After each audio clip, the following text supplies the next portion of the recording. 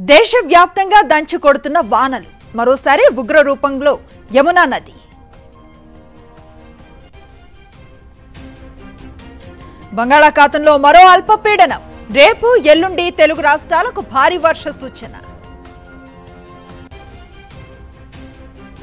బ్రిడ్జిని ఆనుకొని ప్రవహిస్తున్న పెన్గంగ. వాహనాల నిలిపివేతతో ఇరవై కిలోమీటర్ల మేర ట్రాఫిక్ జామ్.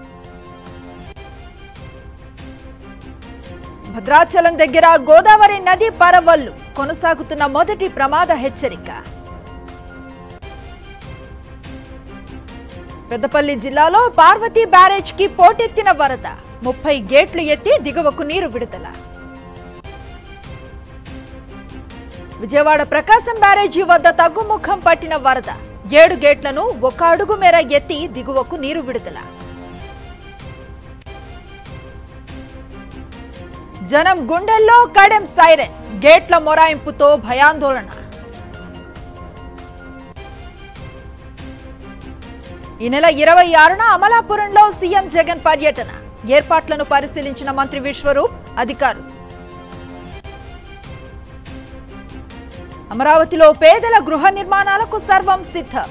రేపు కృష్ణాయపాలెంలో సీఎం జగన్ శంకుస్థాపన. యాభై వేల ఇళ్ళ నిర్మాణాలను ఆరు నెలల్లో పూర్తి చేస్తాం. సీఎం జగన్ పేదల పక్షాన నిలబడ్డారన్న మంత్రి జోగి రమేష్. కాకినాడ రౌతులపూడిలో పోలీస్ అవుట్ పోస్ట్ ప్రారంభం. కార్యక్రమంలో పాల్గొన్న ఎంపీ వంగా గీత ఎమ్మెల్యే పర్వత పూర్ణచంద్ర. జంగారెడ్డిగూడెంలో నలభై లక్షల నిధులతో నూతన సచివాలయాలు. భవనాలను ప్రారంభించిన ఎమ్మెల్యే ఎలిజా.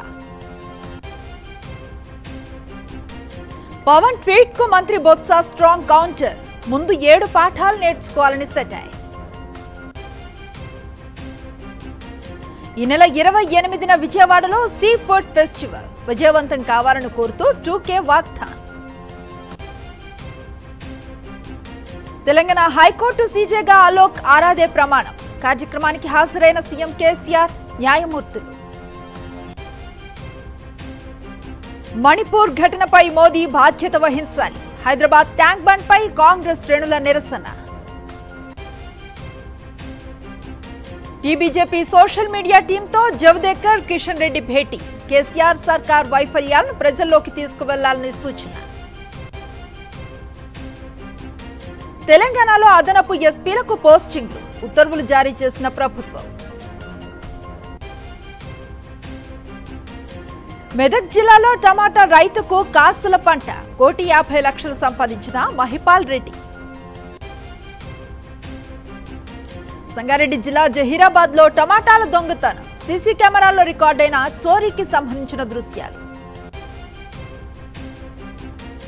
కర్నూలు జిల్లా అధోనిలో దారుణ ఘటన. భార్యను గొంతు నులిమి హతమార్చిన భర్త. మణిపూర్లో మరో దారుణ ఘటన. ఇద్దరు యువతులపై అత్యాచారం హత్య. సోషల్ మీడియా దుర్వినియోగంపై జాగ్రత్తగా ఉండాలి. వ్యక్తిగత గోప్యకు ప్రాధాన్యత ఇవ్వాలన్న సిజేఐ.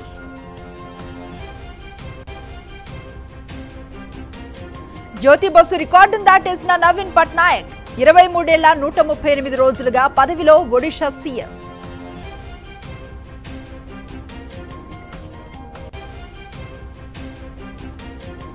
ఇరవై ఐదున మళ్ళీ చంద్రయాన్ త్రీ కక్ష్య దూరం పెంపు. ఐదోసారి దూరాన్ని పెంచనున్న శాస్త్రవేత్తలు.